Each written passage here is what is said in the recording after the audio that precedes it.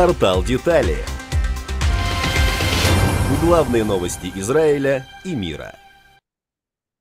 Здравствуйте, здравствуйте, добрый день. Э, Ведем программу «Азия. Большая игра». Я Давид, Идель... Давид Эдельман и я Александр Гураев. Видишь, Давид, у меня мания величия, я уже начал себя называть Давидом Эдельманом, но мы так давно знакомы и так много работаем вместе, что это не мудрено.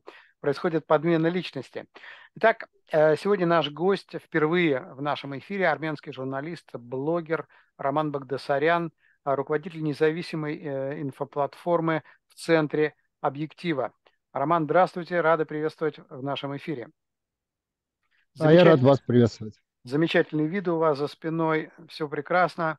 А, ну, давайте начнем. Итак, американское аналитическое издание Foreign Policy спрогнозировало 10 военных конфликтов, ожидающих мир в 2023 году под влиянием войны в Украине. Война в Украине – это такой катализатор, в том числе Азербайджано-армянском конфликт. По мнению экспертов, новая война будет более короткой, чем в 2020 году. Баланс сил с тех пор еще больше сместился в пользу Азербайджана. Армянская армия не смогла пополнить должным образом свои войска и оружие. Азербайджан, напротив, наращивает обороты. Его армия превосходит армянскую в несколько раз и гораздо лучше оснащена и очень плотно и активно поддерживается Турцией. Первый вопрос. Как вы считаете, а грозит ли миру новая Азербайджана-армянская война? Ну, а, я думаю, что в ближайшее время это все-таки маловероятно. Но вообще в этом году это может произойти в случае, а, если переговоры не принесут никакого результата. Сейчас, как мы видим, с одной стороны, западные страны хотят быть посредниками, с другой стороны, Россия, которая мягко говоря, ревнует и делает все возможное, чтобы это посредничество обнулилось и не принесло никакого результата. Вот если западные страны, США, Европа э, сумеют э, все-таки э, усадить за стол переговоров армянскую и азербайджанскую стороны, то я очень надеюсь, что удастся убежать, избежать новой войны и новых боевых столкновений. Вопрос про Россию.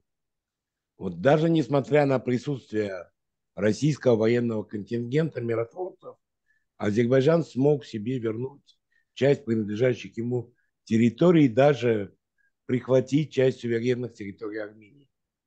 Может ли вообще Армения полагаться на российских миротворцев? Или их присутствие, а, призванное сохранять мир, теряет свою актуальность? Вот мы до тебя говорили с журналисткой из Британии, которая сказала, что на российских миротворцев полагаться нельзя нигде и никак.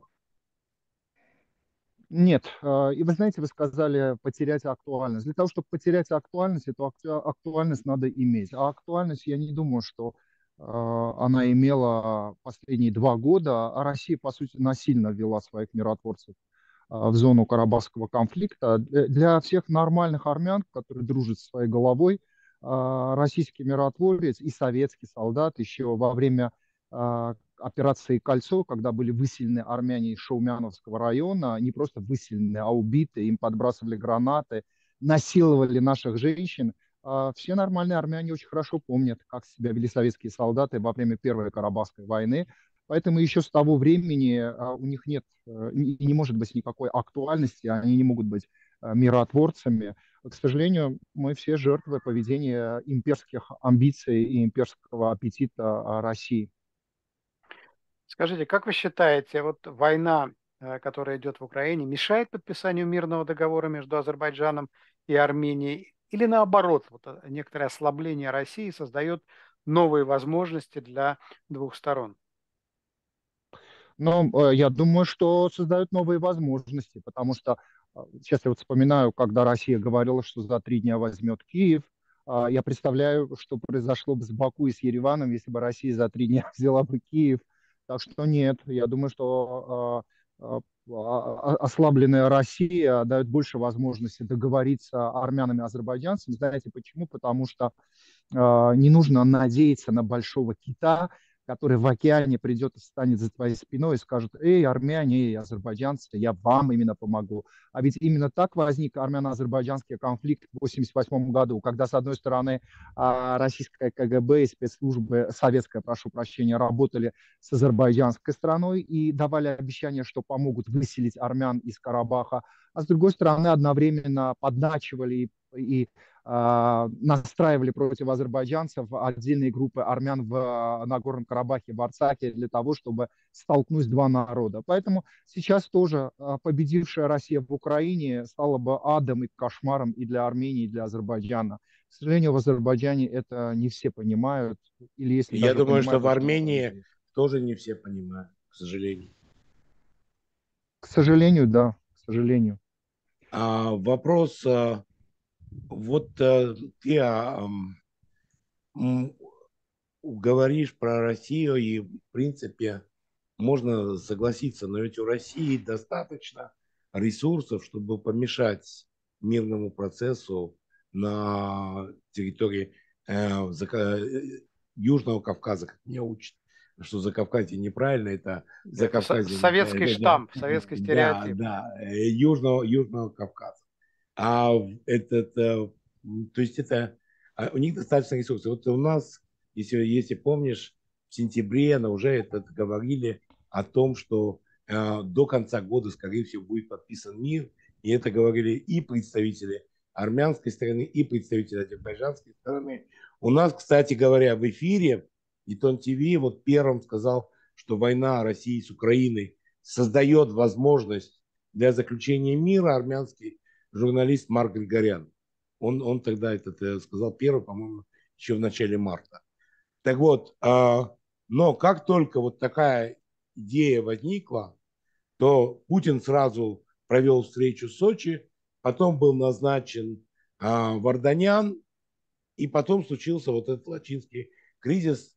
Мы видим, что Россия смогла снова смешать карты и задержать возможность подписания мира между а, Армении и Азербайджаном. Но с другой стороны, не кажется ли тебе, что вот а, война России с Украиной, она просто нормализовала, как бы это сказать, в кавычках, конечно, военный путь решения политических проблем?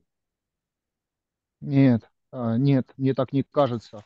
Посмотрите, во-первых, я считаю, что военного пути решения проблемы нет. Давайте посмотрим назад. Последние 34 года а Азербайджан и Армения а, каждый по одному разу выиграл а, одна сторона в первой войне, другая во второй 44-дневной. Военный путь избран последние 34 года двумя сторонами и подначивается России. К чему привел этот военный путь? К решению проблемы он не привел.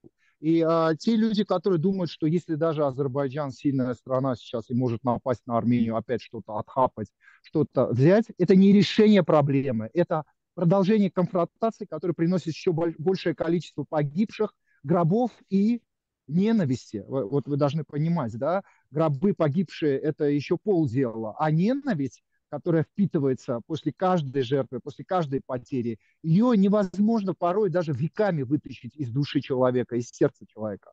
Так что э, нет, в этом плане я не согласен с вами. Военного решения хочу просто особо отметить, чтобы это было слышно в нашем эфире. Нет у этой проблемы. Любой, кстати говоря, а, азербайджанец, потому что сегодня у нас конфликт с Азербайджаном, который думает, что богатый, влиятельный Алиев сумеет заставить целый армянский народ подчиниться и стать на колени, он сильно ошибается. А, мы с вами по истории видим, что любой, кто начинает воевать с народом и пытается уничтожить народ – его не ждет победа. Вот, это стопроцентно, я так думаю, и благодарю, что вы позволяете мне это сказать в вашем эфире. Вот так. Скажите, а как, на ваш взгляд, закончится конфликт в Лачинском коридоре? Как долго он будет продолжаться? А, ну, а, рано или поздно, в любом случае, азербайджанской стороне придется открыть Лачинский коридор. Это произойдет не под давлением России, потому что Россия, если бы имела бы возможность открыть Лачинский коридор, она бы его открыла бы ровно через полчаса после того, как туда пришли так называемые экологи. Россия это не может сделать, не сделает и не хочет делать, и не в силе сделать. Сделают это западные страны, под их давлением это произойдет. Сейчас у нас были новогодние праздники, я уже вижу активизацию заявлений западных дипломатов. Конечно, а, Азербайджан не откроет Лачинский коридор а, на тех же условиях, на которых он был открыт до 12 декабря, до даты, когда он закрыл этот коридор.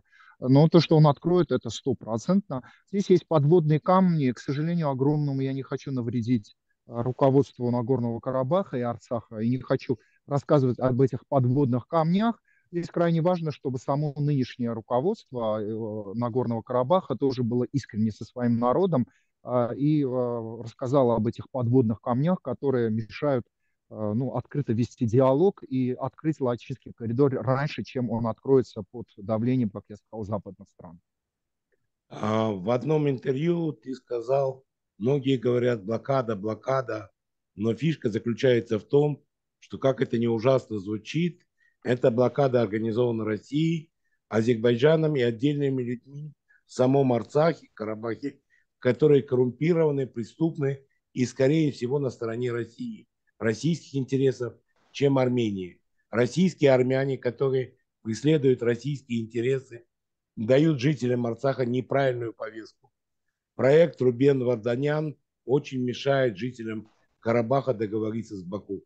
Согласны ли вы, что сегодня Рубен Варданян раздражает как Баку, так и Ереван? И вообще, что можно сказать об этом российском проекте?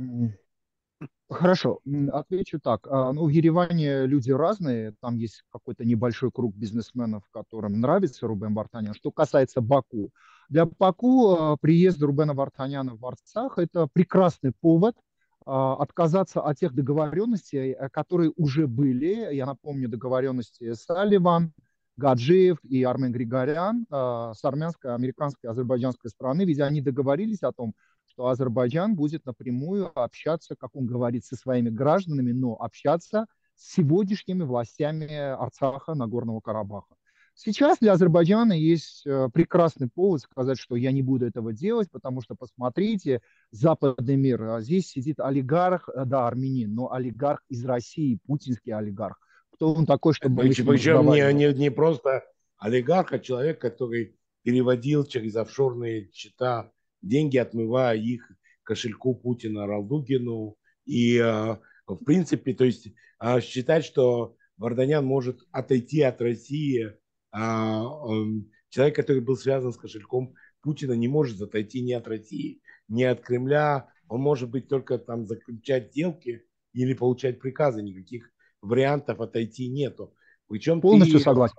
Причем ты сказал, мне, как, как мне показалось, достаточно убедительное, версия с а, российским вложением в рудники. Если можешь, э, расскажи нам тоже, а не только каналу Гелы Васадзе. Почему мы хуже их? Да, ну, а, я могу еще раз повторить. А, ну, смотрите, все очень логично и просто. Эти рудники, во-первых, изначально там были горы и поля. А тут теперь они появились, тут огромные территории теперь у нас, где хорошо защищенные а, перебои, перебои со связью у нас. Да, Роман. Вид, вид конечно, ар, ар... Секундочку. Да. Роман. Роман сейчас вас... слышно, да? Да, вот да. сейчас слышно. Вам звонили, наверное, да?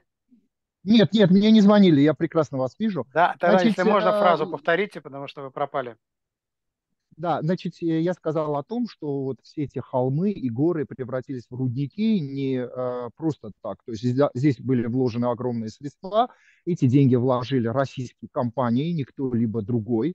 Э, те названия заграничные, там, которые мы читаем у этих компаний, это всего лишь для отвода глаз. То есть за этими рудниками стоят российские средства, российские вложения, э, российские компании никогда в жизни не... А какая сумма примерно? О какой сумме примерно идет речь? Поряд... По моим сведениям, первая, первая сумма 185-190 миллионов долларов в 2000-х годах была вложена. А сейчас я знаю, что до войны еще один был рудник открыт, который, кстати, закрыли буквально 5 дней тому назад. А закрытие рудника объявило правительство Арцаха. Это официальная информация была в СМИ. Вот. Не знаю в этот раз, сколько было вложено в этот рудник, но вот в 2000-х годах это было 190 миллионов примерно долларов – вот. Но надо сказать, что большая часть золота уже добыта, если мы говорим конкретно о золоте. О других э, я даже не хочу говорить, потому что на самом деле об этом можно часами говорить.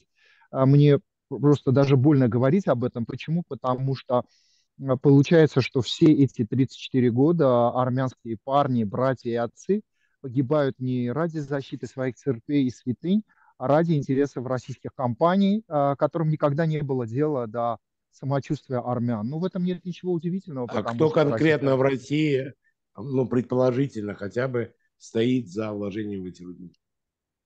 Но по всей информации, которую вот э, мы слышим, одно и то же имя Игорь Сечин. То есть это э, по э, всяким рейдерским и прочим вещам, это второй человек в России после Путина.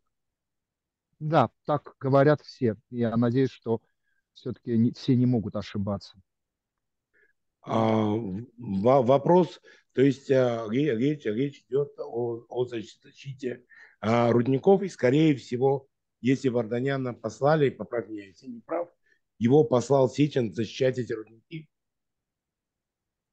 Ну, э, не рудники, а в первую очередь, э, понятно, что рудники, но у России есть... А то, что из них добывают, да? Да, да, все, что добывается на этих рудниках. Ну, да. При любом раскладе мы должны понимать, давайте я договорю, мы должны понимать, что Россия сейчас использует многоходовку, а, и очень многое зависит в том, в том числе от ситуации в Украине. То есть а, мы, никто не может сказать, ни один политолог, ни один эксперт, ни один политик, что будет происходить в ближайшие даже полгода в том же Нагорном Карабахе, в Арцахе, потому что очень многое зависит от развития событий в Украине. Это можно уверенностью говорить на 100%. Да, есть многоходовка, есть планы, а, к сожалению, негативные планы по а, увеличению напряжения между армянским и азербайджанским народом, по провоцированию в том числе новой войны, потому что Армения, демократичная Армения, как ком в горле у российской власти. Ну, да, если мы говорим о Сечине, то господин Сечин и отвечает за Рубена Вартаняна. И Рубен Вартанян, как глина в его руках, как я сказал, гели, из Рубена можно лепить все, что нужно ладошке российской. Спасибо. Спасибо большое, спасибо, Роман, э, спасибо, что нашли время для нас. Я напоминаю, дорогие друзья, армянский журналист, блогер Роман Багдасарян, руководитель независимой инфоплатформы в центре объектива. А мы с Давидом Эдельманом э, еще раз благодарим Романа, поздравляем вас с Новым годом. Надеемся все-таки, что в этом году настанет мир между Арменией и Азербайджаном и на земле Карабаха. А наша программа подошла к концу. Всего доброго. До свидания. До свидания.